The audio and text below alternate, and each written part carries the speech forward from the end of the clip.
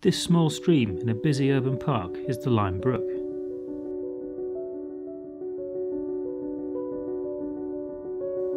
Years ago, it was moved away from its natural course and straightened, so the natural bed was replaced by rubble, refuse, and sand. It still supports life though, although the iconic wild trout that are recovering in the Trent system are still absent from here. But there are some people who would like to improve the health of the brook.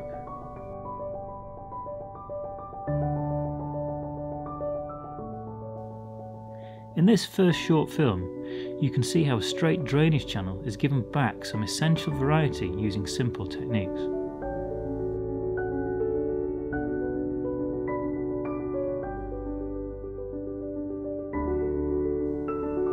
We started by removing short sections of stone armouring that had locked the channel in place.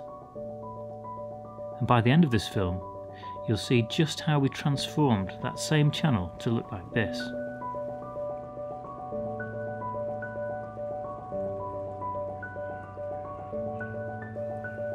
Variety in depth and current speed, as well as variety in riverbed material, gives nature so much more opportunity to thrive.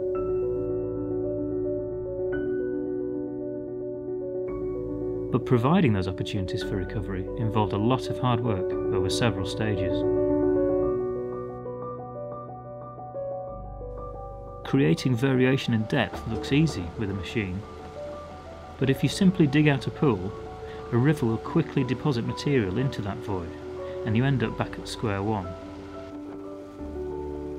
Instead, you need to use the excavated material to pinch the current so that it sweeps the new pool clean of silt and sand.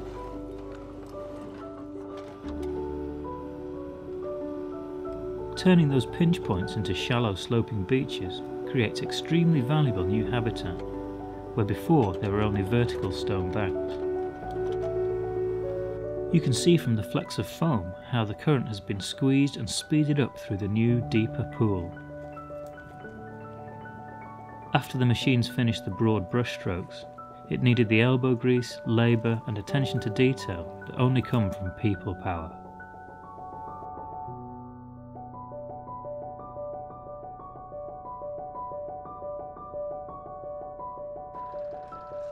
Groundwork West Midlands not only arranged machinery contracts and materials supply, they also drew on their volunteer day experience to run a series of habitat working days that included using Environment Agency staff who were given leave in order to do voluntary conservation work.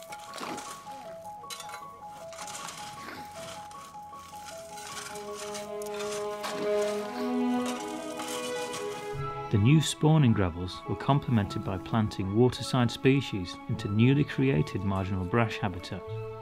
This was provided to protect baby fish against predators and fierce floodwater flows.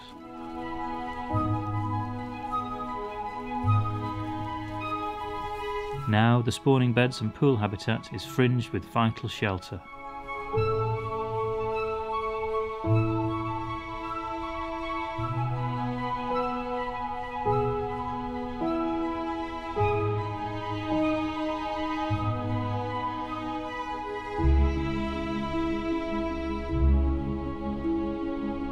The deeper pool upstream and the lower level of the downstream riverbed draws water through as well as over this gravel spawning bed.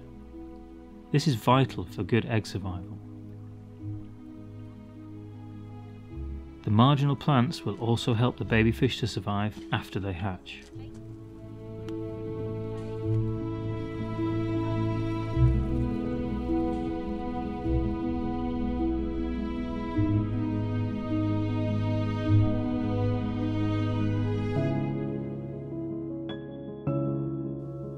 But the work to create these marginal brash shelves to hold the plant securely started much earlier in the year.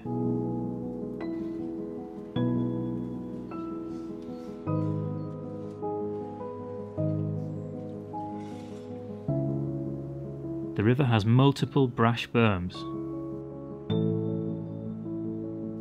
These have been placed opposite the areas that we removed the stone armouring from the banks. Together with the regrading of the steep banks, a lot of new habitat has been created. The brook wiggles again.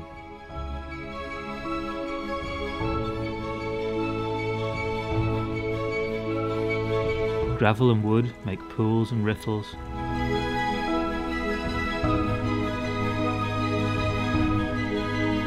Life is thriving.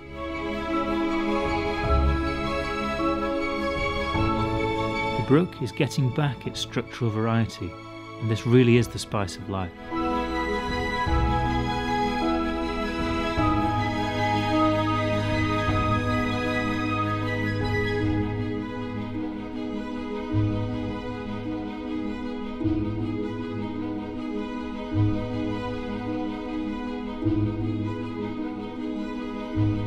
Even with all this, the Lyme Brook is still threatened by pollution, and trout would still need to find their way up from the main river system in order to spawn.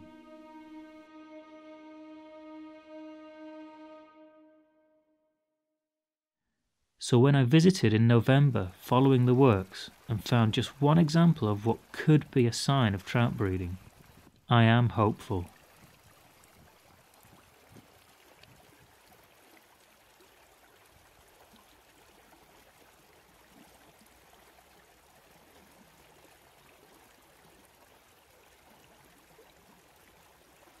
This work and the realisation of the Wild Trout Trust design was made possible only by the work of Lynn Morgan and Steve Cook at Groundwork West Midlands, by Becky Allen at Newcastle under Lyme Borough Council, and Matt Lawrence and Emma Swindale of the Environment Agency.